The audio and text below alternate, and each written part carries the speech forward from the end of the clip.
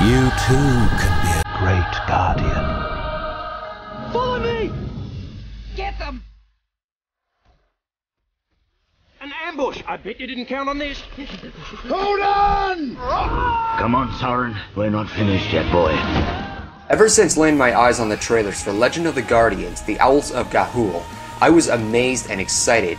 Seeing that Zack Snyder, director of 300 and Watchmen, takes a direction on a kids movie left me feeling ecstatic. I was so thrilled on seeing this movie that on most nights it kept me awake, and so much so that I got into the books the movie was based on. For many reasons to come by, it mostly felt like a dream coming to life to me for an animated film. Something in which The Lion King, The Secret of NIMH, and Watership Down had, other than hand-drawn animation. But let's not get too far here. Even though this is my most anticipated film of the year, now that I finally saw it of its release date, does it live up to the hype?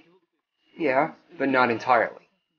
Legend of the Guardian centers on a barn owl named Soren. He's one day taken away from his family and held captive at an orphanage where young owls get hypnotized by something called moon blinking.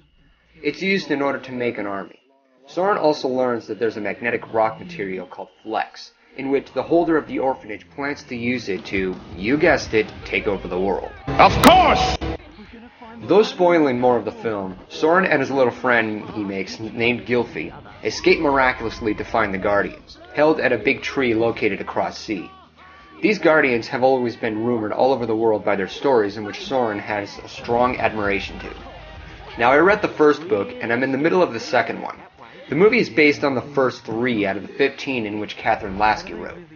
In comparison, I felt somewhat disappointed with the changes that were made. But because these changes suited with the story to not confuse the audience or meander, I'm willing to forgive it. The story on its own, however, does move pretty quickly, and it gets pretty difficult to catch up. It does appear very generic, something you would find from Lord of the Rings or the Knights Round Table from King Arthur. Despite its unoriginality, Legend of the Guardians is very creative on the articulate side of the story. I mean, how often do you see movies centering on owls? How often do you see flying creatures using Dark Age weapons and armor? Nonetheless, the story does have its flaws, but I think it's well written and entertaining. I don't generally talk about visuals in movies, and even though this will beat you over the head with what I'm about to say, I just have to get this off my chest. The animation alone is beautiful beyond belief. It's so realistically detailed, so smooth and colorful that it easily takes my breath away.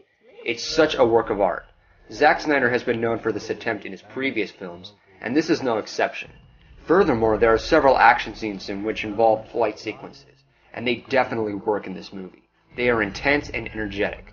There are also some harsh and dark scenes in which suit the film so well, though it may seem a little harmful to younger viewers. Now, don't take this the wrong way by my hype. It's not a perfect movie. Other than the changes in the story, there was a montage where Soren and the other main characters are being trained by the Guardians. In this montage, there was some pop song played, and to be honest, this was way out of place. This is a fantasy. This is a setting where there are talking animals. Do you honestly think a pop song is going to fit in this movie? I don't think so. Montages in general are very cliche, but here, it's one of them at its worst. Also, I found the humor pretty weak. Digger and Twilight are used as comic relief compared to the books, but the jokes are owl puns, and they just sound pretty stupid. Despite the many flaws to encounter, I loved this movie. This is a beautiful, epic, well executed movie in which I have been waiting for. This is the kind of movie I like to see for a children's film. It's at this point Pixar would have some serious competition. Sadly, it won't compete well with Toy Story 3, but I still enjoyed it nonetheless. Many will argue that it's not as good as the book, and that's fine.